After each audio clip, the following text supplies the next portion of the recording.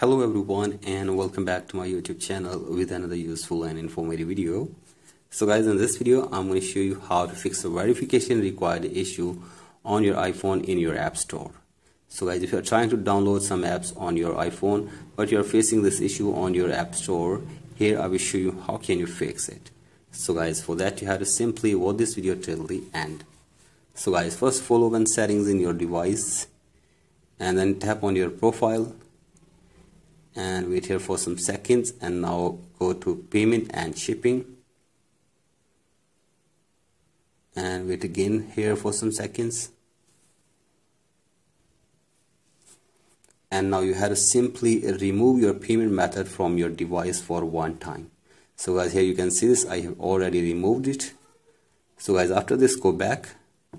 And now scroll it below all the way and sign out your Apple ID from your device for one time as well so guys do this and after this go back. And now you have to scroll it below and go to screen time from here. So guys simply tap on this. And after this scroll it below and tap on content and privacy restrictions. And turn off the toggle for content and privacy restrictions from here as well. So guys do this and after this go back. And now restart your device for one time as well. So guys simply restart your device. And after this sign in your Apple ID again in your device and then go to payment and shipping option from here as well. So I simply tap on this to add your payment again. So guys wait here for some seconds.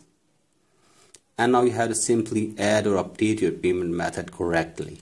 So guys give here the number of your debit or credit card then date of expiry and then security code. And from here you have to tap on billing address and add your billing address correctly as well so guys do this and after this save this information on your device and after this check if the problem is fixed or not. And if the problem is still there then you have to simply contact the apple support team for further information and help. So guys hopefully after this your problem will be fixed. So guys that's it for today's video. Hope this video helps you. Please like and subscribe to my youtube channel as well.